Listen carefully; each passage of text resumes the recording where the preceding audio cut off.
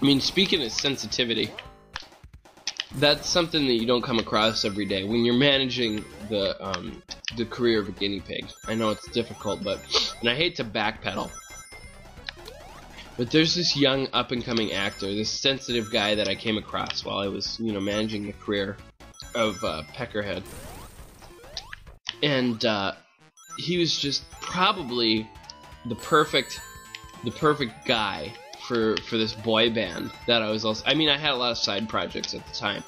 Because I mean if you're managing film you might as well manage a boy band. It's the same thing. You're just coming up with ideas for music videos and it's the same thing as coming up with ideas for movies.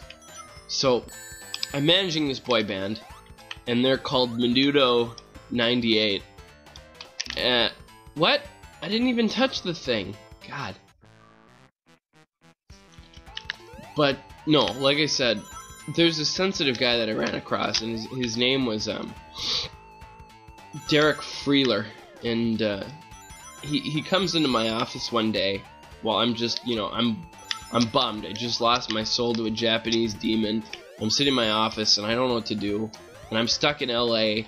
trying to have conference calls with my guinea pig and, in Hollywood and his talent agent, and it's just a pain in the ass. But no, Derek Freeler comes into my office one day, and he says, "Are you, uh, are you, are you Colin?" I'm like, "Yeah, yeah, I'm, I'm, I'm, I'm me. You know, I, I'm fed up with this conversation already. It's only one sentence in, I'm upset with this conversation." And I'm like, "That's what the sign says on the door, you schmuck. Do you not know how to fucking read?" And he's he gets all sad. He gets like a real legitimate tear in his eye. I'm like, "Whoa." I upset this. He's like the purest of the pure, you know when you see somebody like that, just tear up. It's beautiful. Because some people have never heard the word fuck in their entire life. And and when they see a, you know, producer in LA say it, god damn lightning bugs! When they see somebody in, in LA say it, they don't know what to say. But so here he is tearing up in my office. And uh I'm like, son, what what can I do for you? I'm like, I, am sorry, I feel bad, you know. I, I have been trying to watch my potty mouth around my kids, but uh, you know, I can't help it when I'm here at the office because I got I got a crazy secretary and all this. I'm sorry, Sporch. What what's up? And and he says, I came to you because I heard that you did music. And I'm like, yeah, you know, I used to. Back when I lived in bumfuck nowhere, I used to be a musician. He's like, Will you produce my boy band, Menudo 98? And I'm like, This is the best offer I've ever had since my soul was taken by a Japanese dragon demon who massaged my inner thighs once.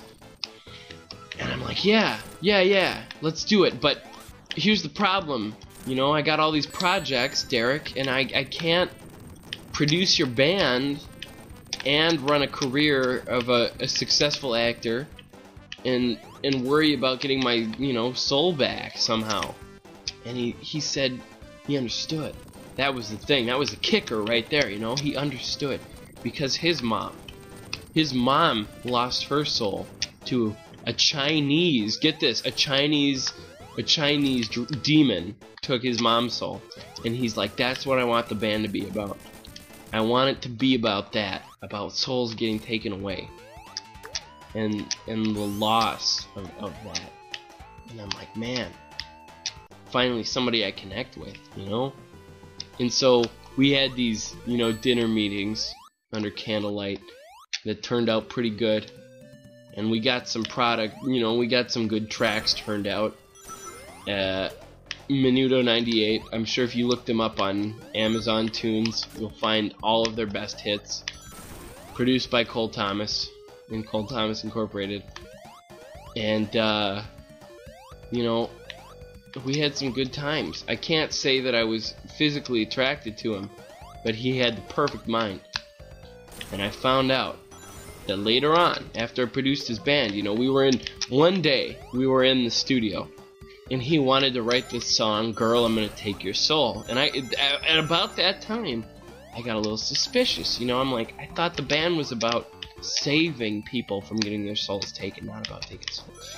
And, and Derek, he looks me in the eye and says, No. I want to go in a new direction. I want to to stop all this stuff from happening. All the stuff that I've worked for in my career. It's just stupid. I want to end it all. And I'm like, whoa, man, this is this is serious, you know. This is this is scary. I've never seen you this way. And he says to me, I thought about it, and it's about taking souls. I'm like, what? This is not, you know, this is not the direction that I was hoping that we were going to go in when I signed up for this project.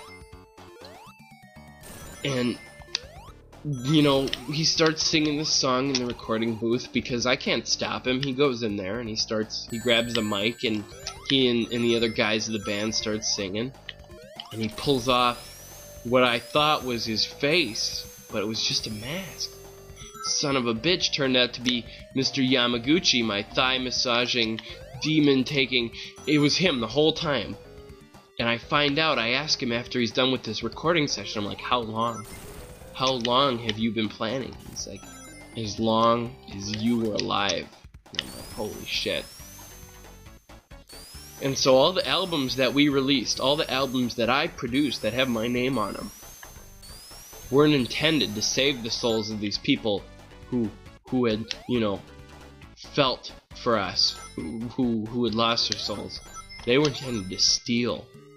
And and I, I look at the charts I looked at the charts from VH1 at the time, which was called VH7 for logistical reasons, and and they had this graph on uh, soul-taking songs. And I thought the whole time it was the pop chart records, but it was soul- songs that stole people's souls, and we were number one. And I I didn't know what to do. It was the end of my career. It was the end of my my life as far as I was concerned. But that was it. That was the end of it. I mean, I I walked out on the project. I lost millions of dollars. I tarnished my name, but I mean, fucking, here I am today, living a life, if you can call it that. I don't know. I don't know anymore. You know, what what is your what is your reality when that happens to you? It's nothing. So.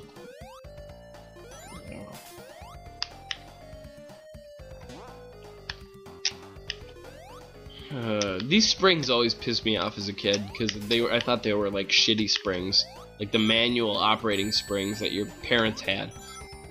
Back in my day, we didn't have the automatic springs that you ran into and would send you going. We had to push them, and they would send us on our way.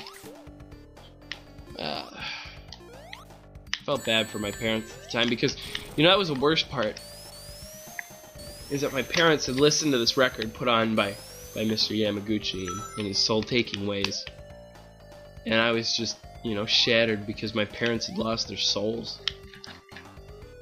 And, uh, I went back home just, just the other day, a couple weeks ago.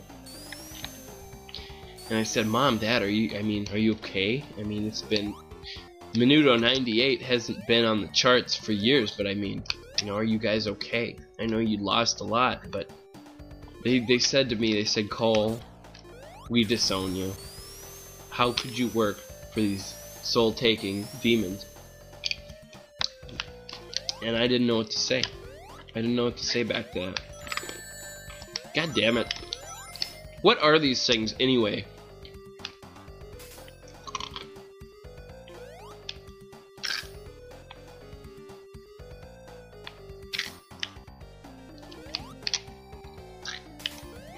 Anyways. So yeah, I mean, where was I? That was yeah, that's the story of how my parents disowned me. Yeah, so there you go. Now you know.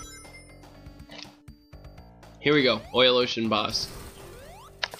This is the easiest boss in Sonic history. Ah shit, Amy, no, you're jumping too high. Ah, oh, I thought you could duck under those. This thing is so fucking easy, all I have to do is jump down here.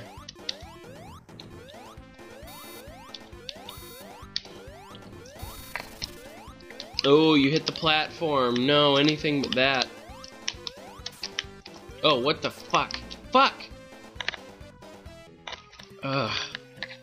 These Amy, like, I don't know what it is about Amy. Like, I don't know if she fucking plays with her titties before she goes into a boss battle. I mean, I would if I was a woman and I had to fight a boss. But uh, she's probably the most uh, inept of the Sonic gang. But I understand that, you know? I understand it's hard to be the only female in the Sonic gang. And you have to wear a skirt and, and have pink braids, you know, just so Sonic likes you. Oh, get the hit. Nope. Oh. Anybody as a kid who didn't know you could do this, like, honestly, you're dumb. Because this is the easiest way to avoid the laser. Even if it shoots the platform, because it does that sometimes. This is all you gotta do. Oh, shit. Yeah, one more hit. Uh, two more hits.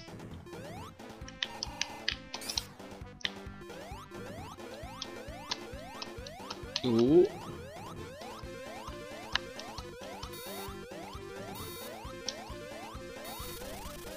Man, he's got to come up with a better laser. One that fires below platforms. There we go. He's done. He's down for the count. Although, that always confused me too. If this is really an oil ocean, which it looks like, and he's exploding in the oil ocean, wouldn't it cause like flash fires and sparks and more explosions and other issues? I just realized something. How am I going to take on the last boss? Is Amy. Like, I know I know I'm a huge fan of the extra challenges, uh, especially when I'm drinking, that I, I, feel like video games are too easy. But I don't know how I'm going to take on the very last boss of this game as Amy. I don't think it's going to be easier, I think it's going to be more difficult. Oh shit. Because you get no rings, and you have to get a bunch of hits on this big robot thing. And that's coming up. It's going to be coming up pretty quick here. These those starfish are are pink tinted. That's adorable.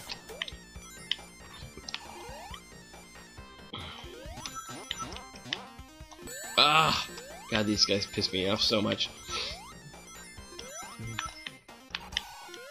Ah, spikes in the ground. no, Spikes in the Ground was the name of my first band, uh, and we had some we had some pretty good records. Uh, you can look us up on Amazon. We have at least all of our, our tracks on there. Spikes in the ground.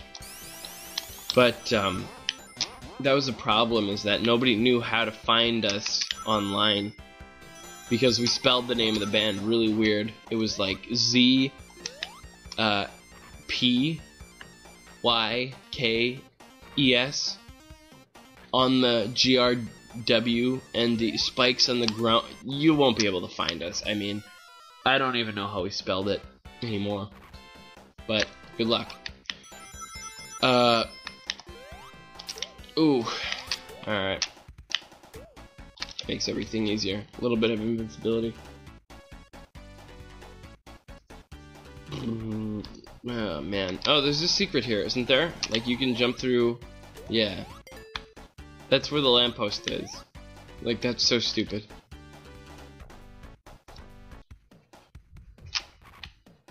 Here we go. Oh, great. I got off that bolt just to transfer onto another one. Oh, great, now I fucked it all up. I have to do that whole thing again, don't I? Yep, here we go.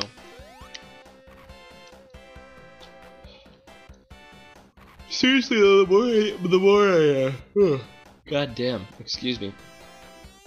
Um, the more I think about this, the harder it's gonna be to to beat that last boss as uh, Amy, because I know you have the hammer attack, but I, I don't know if I'm gonna be able to sweet spot that boss like as Sonic. Because as a kid, I beat this game many times. Um, sometimes with all the emeralds, sometimes not. This is obviously going to be the case of where I didn't. I was hoping to get more emeralds in this playthrough, but I didn't. I I wasn't gonna use save states or anything, but uh,